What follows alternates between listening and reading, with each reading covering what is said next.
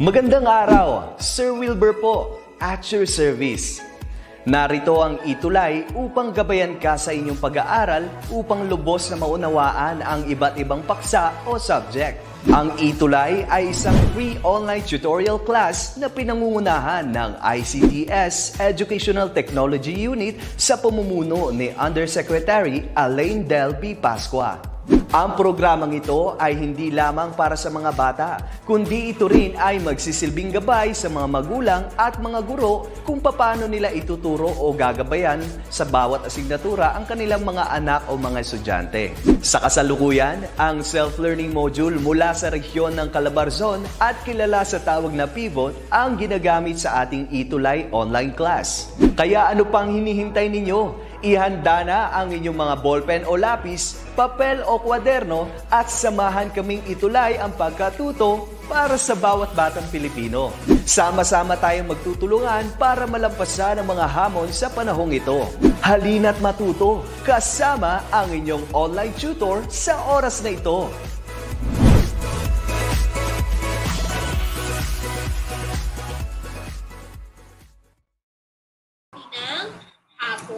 Hello mga minamahal ko mga learners. It's again, uh, it's a Monday uh, afternoon. Ngayong hapon na ito, makakasama ko na naman kayo sa isa na namang uh, itulay session with me, uh, teacher uh, Kevin or tutor Kevin. Uh, ako din po ang inyong uh, grade 9 science teacher sa DepEd TV. At ngayong hapong ito ay makakasama ko kayo para sa isang itulay online tutorial. Again, this Monday afternoon from 2.20 in the afternoon until 3 p.m. Again with me, Tutor Kevin. And uh, syempre, mga minamahal kong mga magulang, minamahal kong mga mag-aaral at mga kaguro, uh, kinagagala ko po na ma-share ko yung uh, um, karunungan at kaalaman ngayong quarter 4, week 4 na tayo. Di ba napakabilis ng panahon? At syempre, live na live tayo sa ating DepEd EdTech Unit sa ating official Facebook page. Again, DepEd EdTech Unit, DepEd tayo at ang official face, uh, YouTube channel natin is uh, DepEd EdTech Unit at DepEd TV. At syempre, kung uh, kung mamimiss mo naman itong itulay session natin ngayong hapong ito, uh, you can still watch and re-watch this itulay online tutorial dahil ito naman po ipopost sa ating official YouTube channel at syempre sa ating DepEd Commons. Okay? Samahan niyo ako ngayong hapong ito para sa isa na namang itulay session for grade 9. At syempre para maka uh, makasama kayo dito sa ating talakayan ngayong hapon, you can type in your comments sa ating uh, comment box. Siyempre, uh, sisikapin kong mabasa ang inyong mga inyong mga comments ano para maging masaya tayo ngayong hapon. Okay, so like and share lang po natin itong video para sabay-sabay tayong matuto. okay. Quarter 4, week 4, and we will talk about is most essential learning competency, which is infer that the total momentum before and after collision are equal. Diba?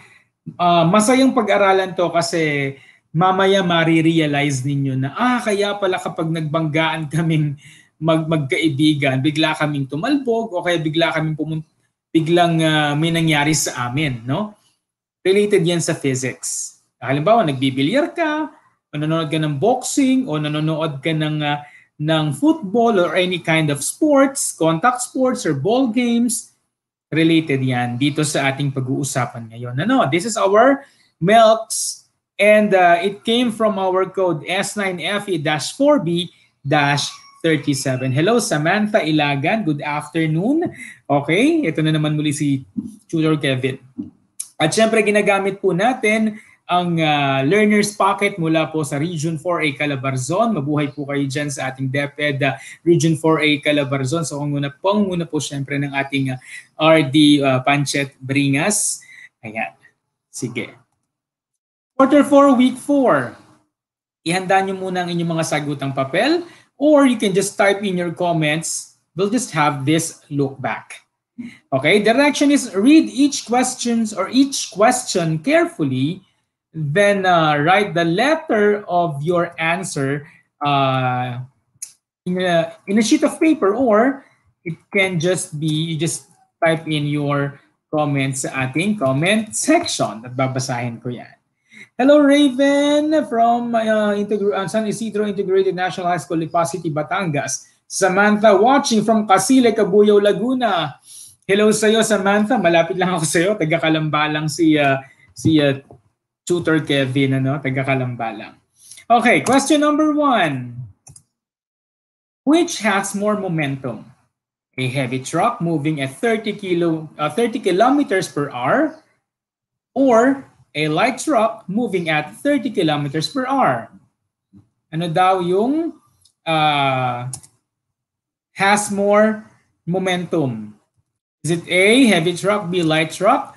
C, both has the same momentum? Or D, cannot be determined? Ayan. Sige nga, can you type in your answers sa ating comment section? Okay? Ready? Number one is letter A, heavy truck. Ayan, tama si Rainier. Ayan, bakit heavy truck? Sabi natin, mas, di ba, isa sa mga component ng momentum is the mass. So, syempre, mas massive yung uh, yung heavy truck kaysa sa light truck, no? Kasi kung titingnan natin kung pareho sila ng ng momentum, I mean, pareho sila ng uh, ng uh, velocity, pero magkaiba naman sila ng mass. Syempre, mas madaming momentum yung mas madaming mass. Okay? Because momentum is equal to mass times the velocity. Okay, tama si Rhea Rose. Siyempre, tama din si Rainier. Thank you, Rainier. Congratulations sa'yo. Tama rin si Deng uh, Lopez. Ayan. Sige, let's move to question number two. Two identical cars are traveling along EDSA. which of the two cars would have a greater momentum? Okay, is it A, the car, the slower car? Is it B, the faster car? Is it C, both has the same momentum? Or is it D, cannot be easily determined? Two identical cars are traveling along EDSA. Which of the two cars have a greater momentum? dalawa daw sasakyan ang uh, ang tumatahak sa EDSA, alin daw dun sa dalawa ang mas merong malaking momentum? The answer is letter letter The answer is letter B, the faster car. Okay? So, sa syempre, uh, katulad nung in-example natin, last time na merong dalawang magkaparehong sasakyan pero yung isa tumatakbo ng mas mabilis or has a higher velocity, then it has a higher momentum. Okay, kaya mahihirapan siyang tumigil agad-agad. Ikaw nga, di ba, pag tumakbo ka ng napakabilis, nagkarera kayo, naranasan mo na ba yon? Dalawa kayo magkaibigan, nagkarera kayo ng pagtakbo, ikaw na nangunguna, hindi ka agad nakatigil. After sa finish line, tumatakbo ka pa rin, di ba? because you have a greater momentum. Okay? Now let's have question number three.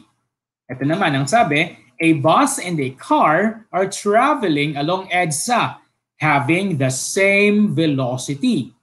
Which of the two vehicles would have a greater momentum? A bus and a car.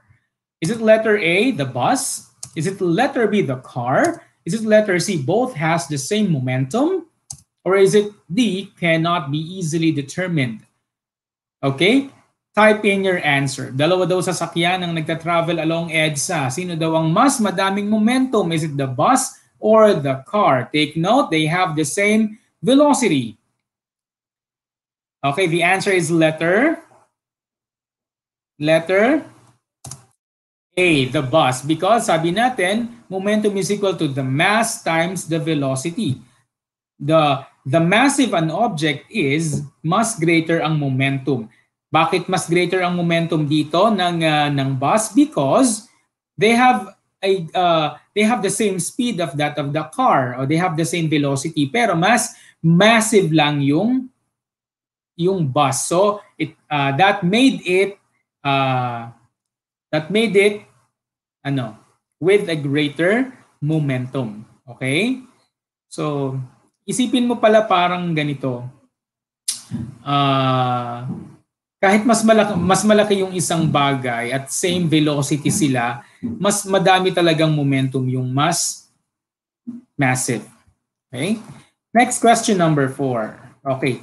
Tama si Rhea Rose, tama si Veng, tama si Maria Luz, tama si Sai N, tama si Vizcaya Ason uh, Aspers, si Rainier, okay, congratulations. Si Raven, tama na naman. Question number four is, in the table above, Okay. Uh, what is the momentum of the jeepney? Actually, I'm sorry, hindi ko na isulat yung uh, yung table pero isinulat ko na lang dito yung ano yung yung given.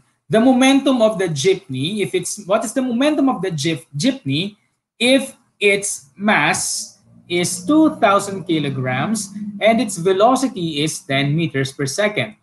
Is it A, 6,000 kilograms times meters per second? Is it B, 40,000 kilograms times meters per second? Is it C, 20,000 kilograms times meters per second? Or is it D, 3,000 kilograms times meter per second? Alin daw dyan ang mas merong momentum? Okay?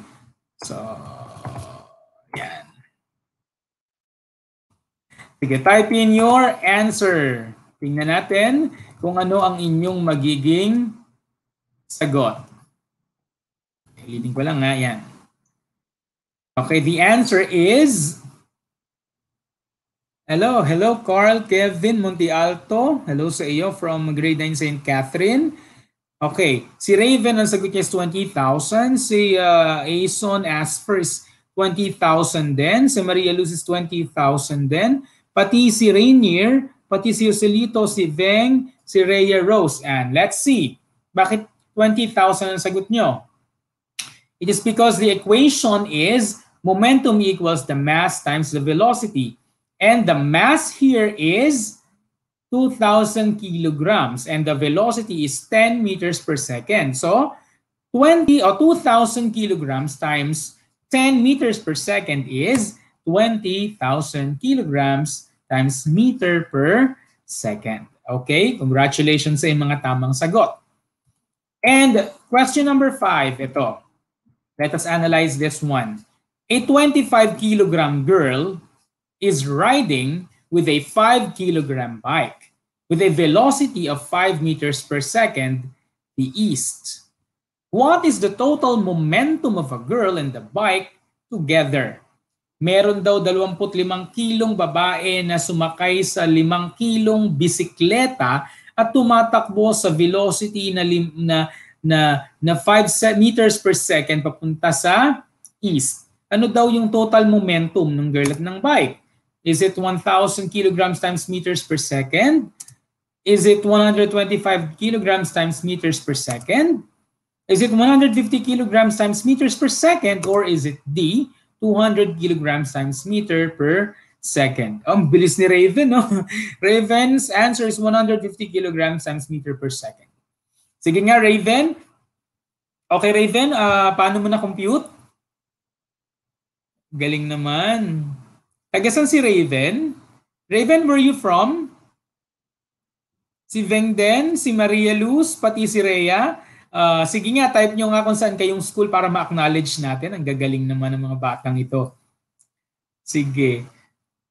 I hope you're having fun uh, with uh, today's discussion. Ano? Ayan. The answer is letter C, 100 kilograms times meters per second. And sabi niya, ang bilis naman ni Rhea Rose, 25 times 5, uh, uh, 25, actually plus 5 is 30 times uh, 5 is 150. Okay? So, kinumpute lang natin yung mass 1. What's the mass 1? Mass 1 is 25 kilograms and mass 2 is 5 kilograms. Mass 1 plus mass 2, okay, times the velocity.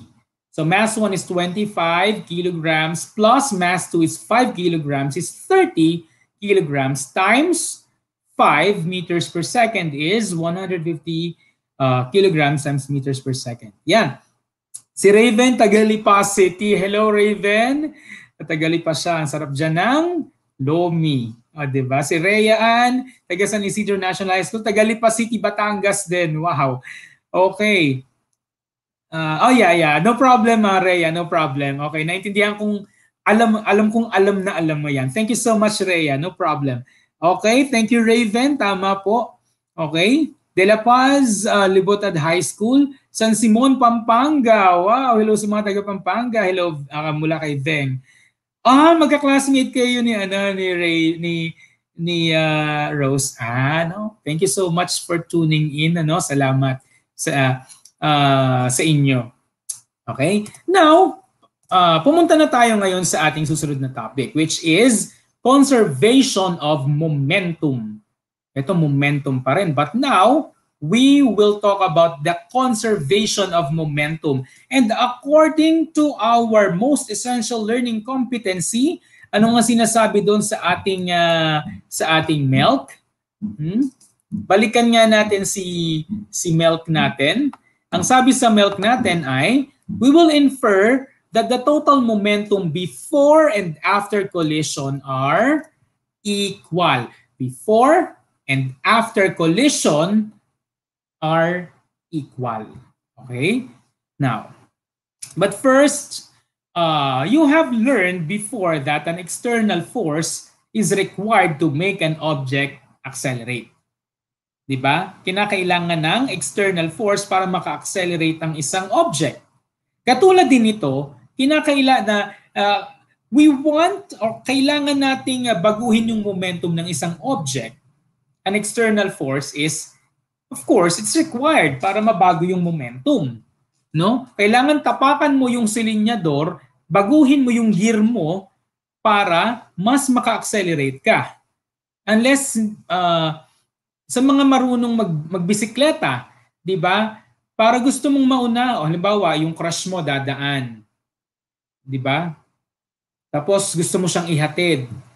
Eh may bisikleta ka, eh layo na niya. Para maabutan mo siya, kinakailangan mo magpedal ng mas mabilis. O kaya naman, uh, nagkaroon kayo ng game magkaklase. Race tayo, race. Nakabike kayong pareho. No? Sinong mauna, siyang mananalo, ang mahuhuli, siyang manlilibre. Ayan. So anong kinakailangan mo para mauna ka? Of course, kailangan mo mas mag-effort or mas magbigay ng more force for you to have a change in momentum. You will accelerate more, no? So para mauna ka. Okay. Sige, De La Paz, Libota High School sa uh, Simon uh, Pampanga, si Veng, si uh, si Maria Luz ay taga Davao de Oro. Wow. I pray and I wish that I uh, that I will visit your place one day, ano, when the pandemic ends. Si Kairil naman, that um, uh, grade 9 St. Clair, hello sa iyo. Uh, hello din kay uh, si Reyero, sabi niya, mas mabilisan. Momentum like velocity and force is vector quantity. Thank you so much, uh, Rhea, for your additional information. Thank you. Now, there will be no change, walang pagbabago sa momentum kapag walang external force. Malinaw ba tayo doon? Kailan lang magkakaroon ng pagbabago sa momentum? Kapag merong external force na nag-apply. If there's none, wala ding change sa momentum. Let's continue. Meron tayong tinatawag na system. Ano naman si system? Si system ay grupo ng mga object na nag interact hindi lang sila nag interact naaapektuhan din nila ang bawat isa. Parang friendship din, di ba? Uh, you interact, you belong to a system, at kung anong behavior ng isa, maaapektuhan din yung iba. Okay? So, example nito, let's relate it to physics. Bowling or duck pin. Nakapaglaro na ba kayo nito? Yung bowling, di ba may mga nakatayong mga pins? Yung mga pins, yung mga pinatutumba mo. Di ba? Unless tamaan nung, nung duck pin or nung bowling ball yung mga pin, may mangyayari. Tataob yon. Kung wala naman, wala namang force, hindi, na, hindi yung tataob kung wala din namang interaction with the ball. Tama ba? Halimbawa, sino ba naglalaro sa inyo ng Jolen or ng marbles? Unless, pitikin mo yung pamato mo at mag-interact ito doon sa grupo na, o sa targets mong Jolen or marbles, magkakaroon ng change in momentum. Pero kung wala naman ikaw ginawa, wala ding change, no? Another one. Look at this two. They are playing football, uh, uh rugby, no? Uh, merong ini-exert na force yung dalawang players. Nag-exert sila. No? Yung isa dinedefend yung bola, yung isa naman uh, um, tawag dito, nilalabanan niya yung isa. Okay, so syempre, meron yung effect. So, sa madaling sabi, a system is a group of objects that interact and affect each other. So, let's move on. Ngayon, meron tayong Newton's third law of motion. Pero tingnan natin tong, before that, let us look at uh, this boy and the girl sila ay nakatayo sa skateboard, no? Si girl ay si A, si B ay si boy. At anong ginawa nila? Look at the arrow. The arrow is pointing toward each other. They they pushed each other away. So ano nangyari? Sabi sa Newton's third law of motion, the force that the girl exerts on the boy and the force that makes the girl move in the other direction are, e of equal magnitude but of opposite direction. Okay, they push away each other. Wow, ang sakit naman noon. They push away each other. 'Di ba? Wow, ayan, advance naman ni Rhea. Tama yan, Rhea. Uh, they pushed away each other. Dun sa una, walang force na na-exert. Then sa pangalawa, pinaghiwalay nila yung isa't isa. Therefore, it uh, if if they apply the same force, they will uh, the same magnitude, then they will move in opposite direction. Okay? So, sa madaling sabi, uh, anong ibig sabihin natin diyan? Okay? Sa madaling sabi mga minamahal kong mga mag-aaral, uh, merong inexert na force, okay, that made them move in opposite direction. Okay? So remember that momentum, like velocity and force, is a vector quantity, sabi nga kanina ni Rhea. So yung momentum na inexert ni girl ay equal doon sa momentum na na-inexert ni boy, kaya naman they moved in opposite direction. Okay? So, initially, zero ang kanilang, uh, zero ang value ng kanilang, ano, zero yung, ano po yung zero? Zero yung before. Okay, that's the before, uh, uh, the total momentum of the boy-girl system before pushing is 0. Okay? Then, eh ano naman kung 0? Then after pushing, after pushing naman, the total momentum of the boy and the girl system is still 0. Because the moment, ang momentum ni girl is equal magnitude, has an equal magnitude. Okay, but they are just opposite. They went through opposite uh, direction to the momentum of the boy. Okay? So, minsan kapag nagkakalabuan, push each other. Okay. Now, let us continue. So again, they moved in opposite direction. Oh, yan. Tama yan, Rhea. It's in the leap, actually. Now, Remember that momentum like velocity and force is a vector quantity, sabi mo nga kanina. Ngayon, kailan naman natin nasasabi na that momentum is conserved? Momentum is conserved kapag kapag no momentum is gained or lost. Katulad nung sa boy at girl kanina. Zero yung before, then after having an equal magnitude, they moved in opposite direction, zero pa din yung kanilang momentum. So ibig sabihin, walang nangyaring change in momentum. Therefore, the momentum is conserved.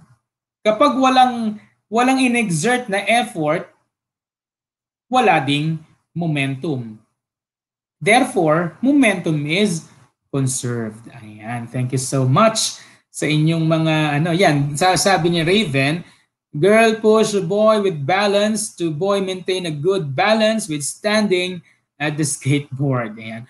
Marunong ba ka mag-skateboard? Ako, hmm, nag-aaral ako dati pero hindi ako natuto.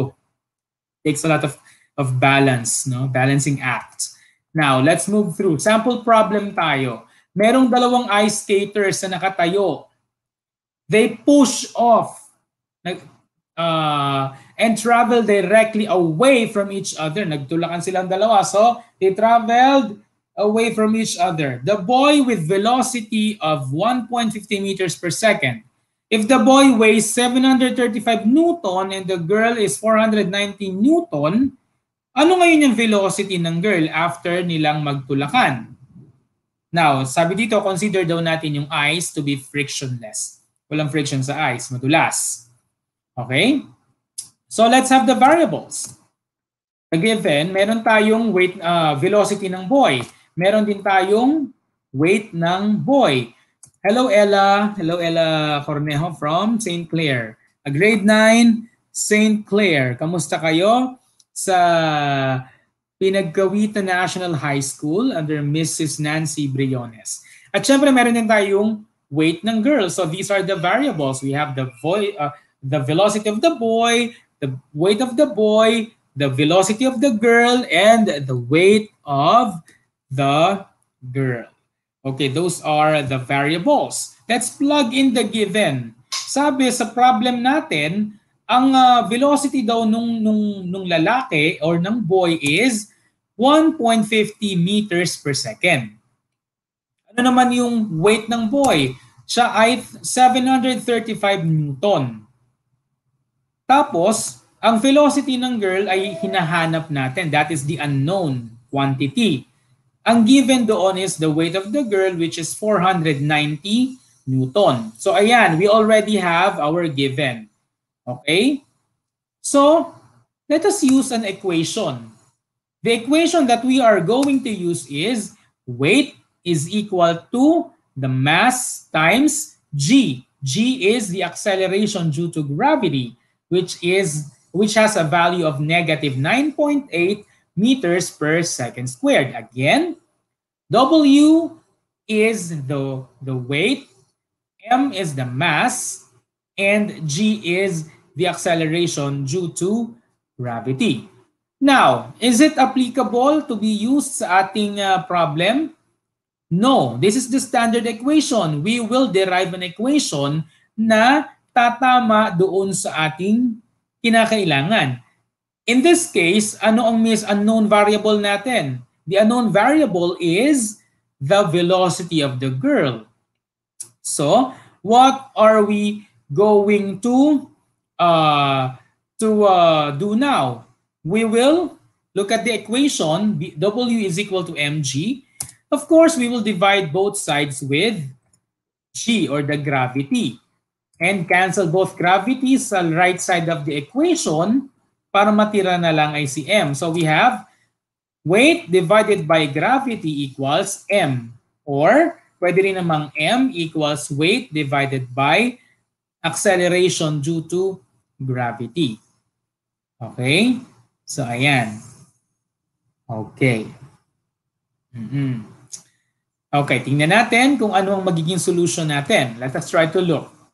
Pero, syempre, tandaan natin, yung yellow, uh, they are standing in an ice which is frictionless. So, kung titingnan natin, madulas yung kalsada. No external force is present. No? Kasi nga madulas.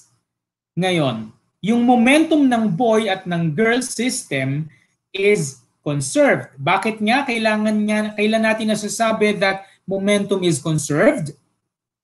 If there is no external force present. Kung walang puwersa na inapply, then momentum is conserved. Okay? There is no change in the momentum of the system before and after the push off. No momentum. Now, let's have this. Total initial momentum is equal to the total final momentum. Why? Because conserve, momentum is conserved. So, the value is, the initial momentum is zero equals P boy plus, or the momentum of the boy, P is the momentum, plus the momentum of the girl. Therefore, we will move the momentum of the boy in the total in the left side of the equation. Therefore, negative momentum of the boy is equal to the momentum of the girl. Bakit naging negative? Kasi yung yung momentum of the boy because we moved it on the left side. Sorry, We moved it on the left side of the equation. Now, uh, okay. Okay, yan. Kita yung aking uh, arrow. So ito. Now, uh, let us now apply the, the formula P is equal to MV. So, negative MV of the boy or the momentum of the boy is equal to positive momentum of the girl. MV is uh, stands for the this MV is uh, is pertaining to the momentum. Okay? So substitute lang natin yung given. Ang given natin is ang ang mass ng uh, boy is 75 kilograms at yung velocity niya is 1.50 meters per second. So this is for the boy, negative 75 kilograms times 1.50 meters per second equals, what is the mass of the girl? It's 50 kilograms times the velocity of the girl. But it's missing. No? So multiply lang natin. Negative 75 times 1.50 meters per second is negative 37.5 kilograms times meter per second equals 50 kilograms times the velocity of the girl. We just moved out the velocity because siya kasi yung hinahanap natin, no? So therefore, uh, negative 37.5 kilograms uh, meter per second is equal to 50 kilograms times the velocity of the girl. Divide both sides with 50 kilograms. So cancel C, 50 kilograms sa right side. Therefore, negative 37.5 kilograms meter per second divided by 50 kilograms is Divide mo tong negative 37.5 kilograms meter per second. That's 50 kilograms. Cancel mo yung kilograms. Matitira na lang is meter per second. So the answer is negative 0.75 meters per second as the velocity of the girl. Okay, that is now the velocity of the girl. Okay, so anong ibig sabihin yan? The girl moves o nag-move yung girl at a velocity of 0.75 meters per second opposite doon sa direction ng boy. Okay? So yun yung answer natin. Okay? So let us continue. Sabi ni Raven, the girl moved by the velocity of 0.75 meters per second because of the boy. Ayan. Sige. Wow, may computation pa sila. Oh, very good naman. Mga tagalipa, hello sa inyong lahat dyan. Okay, mga grade 9 students sa uh, SDO Lipacity. Okay. Meron tayong tinatawag na elastic at inelastic collision. May mga condition kasi itong conservation of momentum, no? Meron tayong tinatawag na collision. When we say collision, basically, pagbabanggaan or encounter between two objects resulting in exchange of impulse and momentum. Let's say, for instance, these two cars, they collide. Anong nangyari? it resulted in in an exchange of impulse and momentum. Titingnan natin kung anong klase yang uh, ng anong klase ng collision yang pinakikita ko diyan sa aking uh, larawan. Okay? Yan. Raven, hello. Okay. Yan, sabi ni Rhea Rose, elastic collision uh, one in which the total kinetic energy of the system does not change. Okay, very good naman. Nagbabasa talaga siya ng learner's pocket. Good, uh, very good. Okay. Now, because the time of impact is usually small, the impulse provided by external force like friction during this time is negligible. Kung maliit lang naman yung uh, yung force na ina-apply, it's, it's actually negligible. Pero if if the force exerted is too big, then there will be an effect in the in the momentum and the impulse, no? If we take the colliding bodies as one system, the momentum of the system is therefore approximately conserved. Again, bakit naging uh, bakit sinabing approximately conserved yung yung system? We talk about yung objects na nagbanggaan. Kapag maliit kapag uh, wala namang force na na-exert, momentum is conserved. Pero kapag may may inexert kang uh, may inexert kang external force pero kung ito naman ay napakaliit or napakakaunti lang, sabihin natin 0.00 something lang, or uh, basta sobrang liit lang, hindi na nito uh, naaapektuhan yung entire system. Eh, hindi naman ano, hindi naman madami yung hindi naman malakas yung pagkakatulak. So it's negligible. Malinaw ba tayo doon? Then the momentum is approximately conserved. Hindi sinabing totally conserved, but approximately conserved. Okay? Yan. Okay. Hello, Annabelle, uh, Annabelle Olave from uh, San Isidro Integrated National High School, Lipa City. Good afternoon. Wow, active mga tagalipa natin. Ha? Alae, kagagaling. Okay. So, ito sinasabi ko, the total momentum of the system before the collision is equal to the total momentum of the system after collision. Before collision, they have the same or equal in total momentum. And after, they also have the equal and the same momentum after collision. Therefore, momentum is conserved. Okay? How is momentum conserved? Type nyo nga, paano na nako-conserve ang momentum? Bigyan ng lumi yan. Nakakagutom. Wala, sarap ng lumi dyan sa lipa. ba? Nakakain ako diyan ng uh, lumi. May sarili kayong kikiam na ginagawa, ba? At that is so delicious. Oh my gosh. Ayan. Okay, sabi ni uh, Rhea, elastic collision moving object collides with a stationary object. Yan, pwede. No? Kailan nga nakakonserve ang momentum? Kapag no force, no external force is exerted at kapag there is a negligible force exerted, uh, very minimal uh, force is exerted and it is negligible or pwede nang hindi maramdaman, nane-neglect na.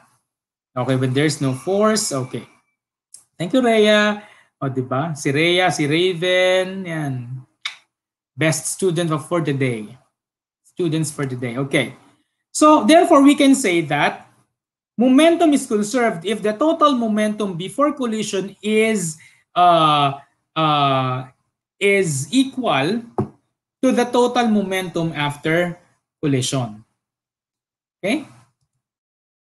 There are two types of collision. First is elastic. Ito na tayo. Pag sinabi natin elastic, one in which the total kinetic energy of the system does not change and colliding objects bounce off after collision. So an example of that is this one. There is the um, there are two objects, no? They uh, they collide and they moved in separate or opposite direction. Now, if the total K or energy is conserved, no, if the total momentum is conserved, therefore there is no uh, change in momentum. Then the collision is elastic. Ulit, if the total uh, momentum is conserved, where the two objects bounced from each other and moved in uh, opposite direction, ayan, it is an example of an elastic collision. Take note, the objects must bounce off to each other if the collision is elastic. So nag nagtatalbugan lang sila. Elastic collision.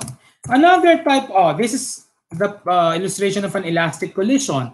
Look at the two. Okay, they just, they move together towards each other, then suddenly they moved in opposite direction. That is an example of elastic collision. All right? Then next, uh, another type of collision is inelastic collision. Basically, it's just the other way around. Pag inelastic collision, anong nangyayari? No? Anong nangyayari? Okay? Uh, if the total uh, momentum is not conserved, therefore, that is an inelastic collision. Kapag hindi na-conserve. Anong ibig sabihin natin dyan? No objects that stick together after collision is said to be perfectly inelastic. Nagbanggaan, instead na mag-bounce, nag-move sa isang direction. That is inelastic, hindi nagtalbugan. So therefore, this is it. Look at that. Object 1 and object 2. Okay? So, yan, relate, relate much yan sa mga banggaan. No, kapag mas malaki yung isang object or yung truck at saka tricycle nagbanggaan, di ba? So yan ang nangyayari, inelastic collision. Kunyari, sinuntok ni Pacman yung mukha ng kalaban niya. Boom! Inelastic collision. Tumalsik yung mukha. Lahat ng sinuntok ni Pacman sa kanan, yung mukha, tapos yung lahat ng yung ngipin tumalsik sa sa same direction. Inelastic collision. So malinaw ba tayo doon? Elastic and inelastic, look at this. Ayan. The object must bounce off each to each other if the collision is elastic. Now, kapag naman inelastic, the objects might bounce off to each other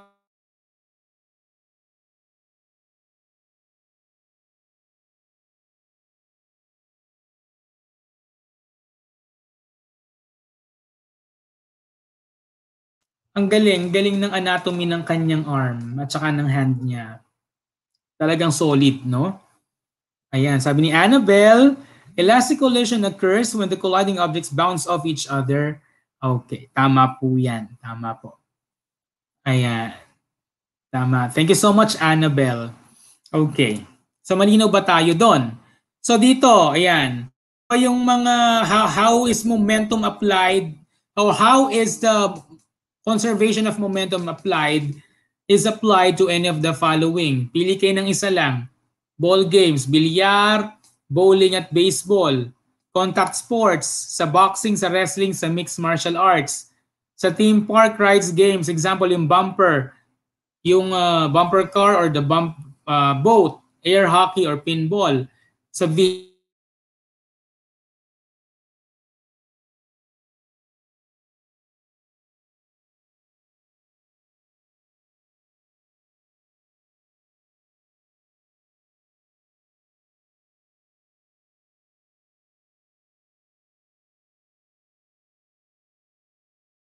kailangan mag-exert ka ng force. Ano bang klase ng collision yon? Elastic or inelastic? Ayan. So sa madaling sabi, magagamit natin lahat ng ito sa ating pang-araw-araw na buhay. Okay? Okay, now let's have the quiz. Ready na kayo mga taga-Lipa, friends from Lipa and friends from from Pampanga? Okay, question number one. Type in your answer. Which is a necessary condition for the total momentum of a system to be conserved? Is it A, kinetic energy must not change? Is it B, no external force is present? Is it C, an object must be at rest? Or letter D, only the force of gravity acts on the system? What could be the answer here? Hmm?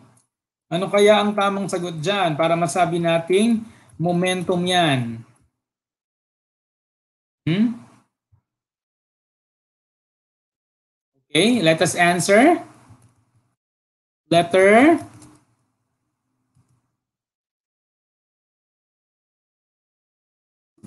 B, no external force is present.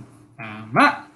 Yan, jo Johan Nathan Depano watching from E, uh, Hagonay East Central School. Uh, Sir Jason Calonzo yung kanyang teacher. Ayan, tama si Nathan, tama si Raven. Ah, three active students from Lipa here. Yan. Ay, ay, kayo'y mabibigyan ko ng papremyaw.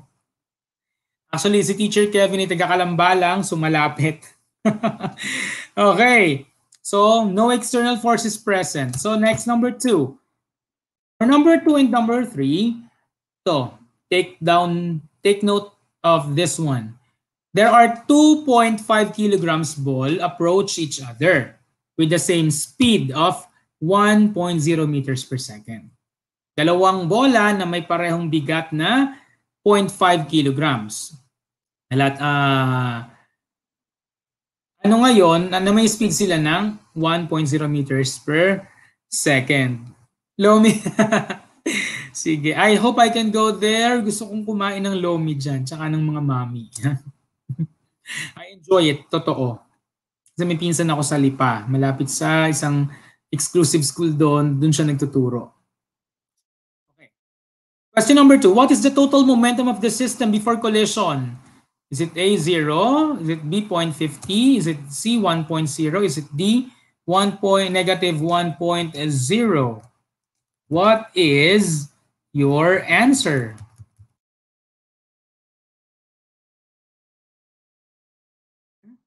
What is the total momentum of the system before collision? Before collision ang pinag-uusapan natin dito ha. Before collision total momentum of the system before collision.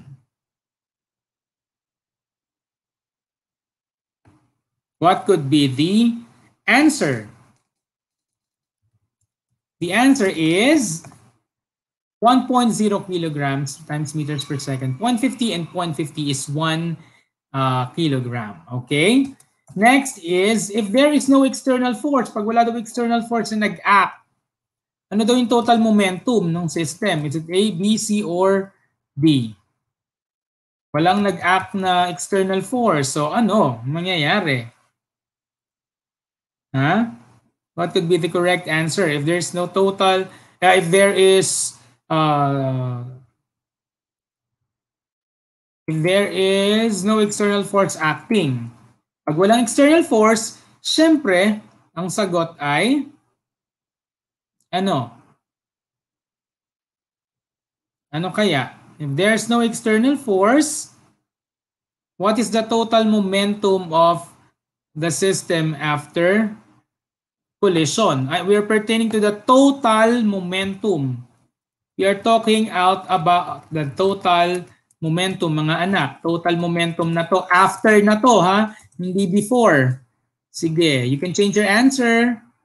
After na to ha, after, hindi na before. Before and after. The answer is negative 1.0 kilograms meter per second. It's, it will become negative na kasi that is the after collision. Okay? After collision na negative na siya kasi nga we applied our equation. Okay. Number three is letter D. Okay. After collision na. Kanina before collision. All right? Next, number four, two billiard balls approached each other at equal speed. If they collide in a perfectly elastic collision, what would be the their velocities after collision? Zero, same in magnitude and direction, same in magnitude but opposite in direction, or D, different in magnitude and opposite in direction. Sabi dito, if they collide in a perfectly elastic collision, what is the answer? For number four, mananalo ng Loming Batangas. Ayan, mabuhay ang ating mga taga Batangas, taga Pampanga, lahat ng mga taga Davao, at buong mga Pilipinas na nanonood ngayon sa ating Itulay session. The answer is, ano kaya? Elastic collision na elastic. Elastic tayo. Two billiard balls approach each other at equal speed. Equal speed. If they collide in a perfectly elastic collision, equal speed ha? So what is the answer? They will have, pareho sila ng speed. Pareho sila ng, most likely pareho ng size ng dalawang billiard ball. Then, therefore, same mass, same speed, they will have same in magnitude. Kasi nga, same sila ng uh, speed. Equal speed sila. But they will have an opposite direction. Okay? Same speed lang sila. Pero they will have an opposite direction. Yes, Raven. Okay, last number.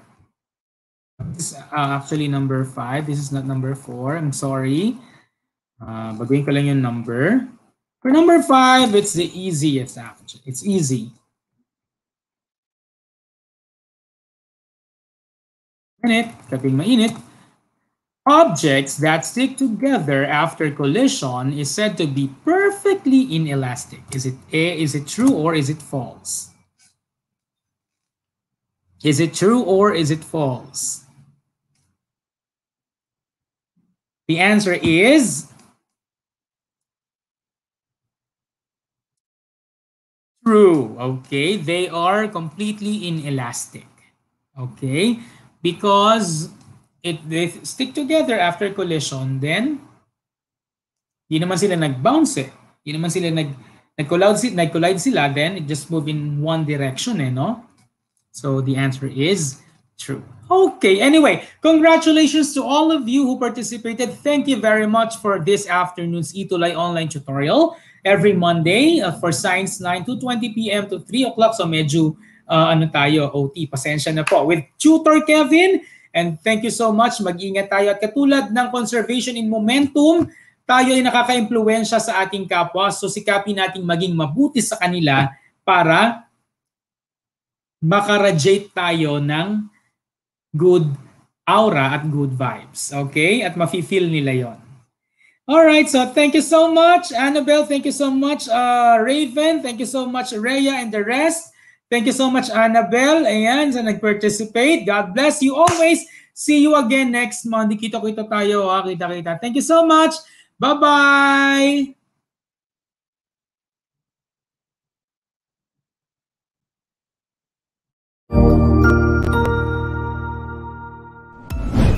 Sigurado ako na marami ka na namang natutuhan sa ating Itulay tutorial session ngayong araw.